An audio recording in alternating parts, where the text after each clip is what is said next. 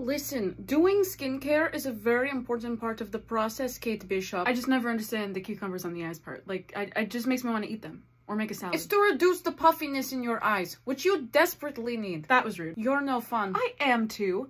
I agreed to a spa day, and that only happens on very special occasions, okay? I would much rather be at home working on trick arrows.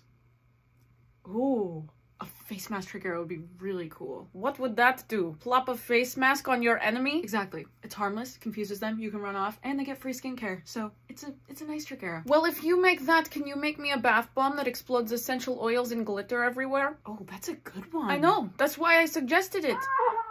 Peter's not making it. No, he is not. Why was I first for the wax station and why did neither of you tell me how painful it is? It's not that painful. It feels like someone burned my entire leg. You only did one leg? Yes! Because it hurts more than last week when Doc Ock threw me into that barbed wire fence. No, get back in there. Are you crazy? Peter Parker, go. Do the other you leg. to even it out. Oh my god, why did I agree to come do this? Just remember it's free because Kate Bishop and I paid for you and that will take away most of the pain. Ow!